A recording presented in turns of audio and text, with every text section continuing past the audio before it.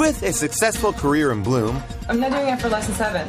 Hit seven figures and I'll do it. a busy personal life, I actually got a call back for this Taco Bell commercial, so I don't know if I'm gonna be able to make it or not. and a charity whose nature is doubtful at best, it seemed as if Olivia Munn had nowhere to rise but up. But then, in 2009, the unthinkable not only got thought, but was spoken out of somebody's mouth. And as it turns out, this wasn't just any mouth. No, she is a true hooker. Um, How did it affect you when TV icon William Shatner referred to you as an expensive whore? It was devastating. Especially brutal because he was my childhood hero. I can imagine. And I lost so much sleep. And I couldn't focus. And I saw his face everywhere, and it just made me so mad. I actually wrote a poem about it. Do you mind? Oh, please do. It's called Pecked by the Shatbird by Olivia Munn. Malicious feathers, razor beak. With hunter's heart and hateful shriek, you fouled my fountain with your speak. William Shatner is a dick. Wow. Poetry may heal all wounds, but at the time, the incident sent Olivia into a downward spiral. On set, this translated into outbursts, Stop that! You guys, we have to go to commercial. I'm not kidding. full blown tantrums, Can you get out of my face? What? Who has the microphone on? Who has the IFB? Not you, not you. Not you and this that! Get out of my face! Get out of my face! Get out of my face! Ah! Where's my coffee? and outside the studio, Olivia was slowly losing control. This just into the E Newsroom. E News has obtained this exclusive video of G4 host Olivia Munn trying to purchase $500 worth of pie with signed copies of the Playboy magazine with her on the cover. I don't understand. Pablo Picasso used to do it. He signed napkins. You're not I didn't- Pablo Picasso. I am too Pablo Picasso, okay? I'm the ma- I'm the Pablo Picasso of men's magazines. You seriously, you know what? If anybody wants one of these, okay, I'll be outside.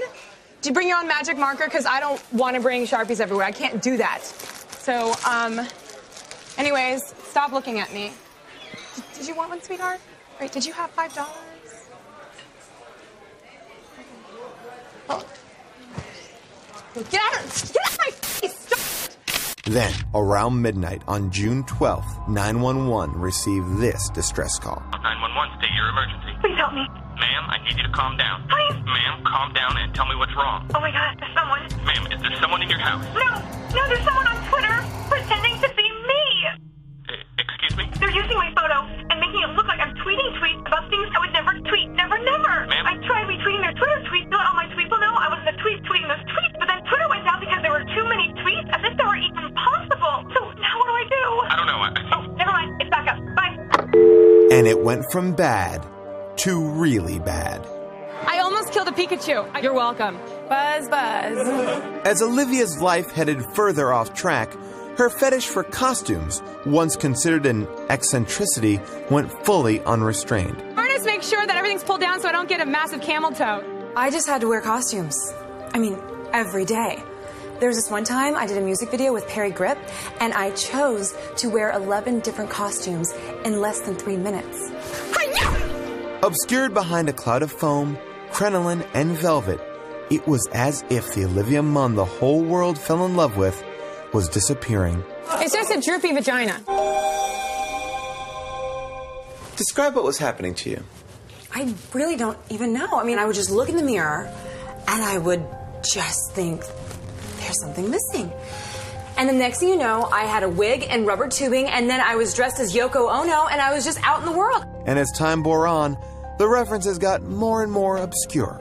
One day, I dressed as a Lolly Dama, the Dalai Lama's baby mama. Mm-hmm. And then I came as Hulk Hogan's hair. Mm-hmm. And then that's when I started hybridizing. What does that mean? I dressed as Peter Pinocchio, mm-hmm. the little boy who wouldn't grow up to be a real boy. Wow, that is so convoluted, I don't even know where to begin. When did you realize that you actually had a problem? When I dressed up as Chewbacca, the Jewish Chewbacca. Why did you let this take over your life? I always told myself it was for the fans, but I don't know. I don't know. Were you, Olivia Munn, hiding? Maybe. Maybe you were overwhelmed by the spotlight. No, it doesn't really sound. No, you were in the public eye for far too long, wearing many different faces, but yet the only face you wouldn't show is your own. Isn't that true? there you go. Let it out. There you go. You have been holding this in for such a long time. Wait, wait, what is that? What, what is that? Nothing. Show me your hands. Nothing. Show, give me your hands. Give me. Okay. Give, no, the other one. The oth- give me the other. Yeah, no. Show me both hands. Both hands. Show. Gi- what is this? Eye drops? No, it's Diet Sprite. It's hard to cry on cue. It clearly was a question that you wanted me to cry. Yeah, but I could get you there. Although this might have been just another dark patch in Olivia's otherwise bright career, the worst was yet to come. In her despair, Olivia turned to her greatest source of comfort pie. Kelly, do you eat pie?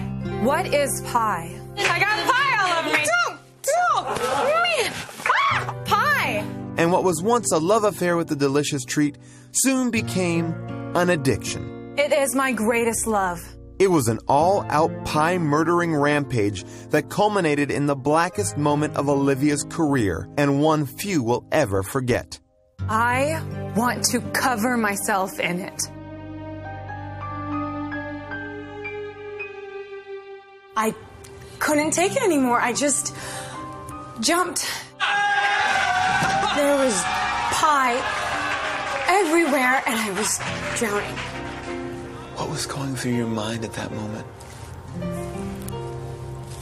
Oh my god. Yummy, yummy, yum yum, and then a yummo.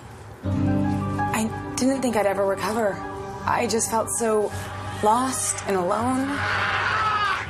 How did you find your way back?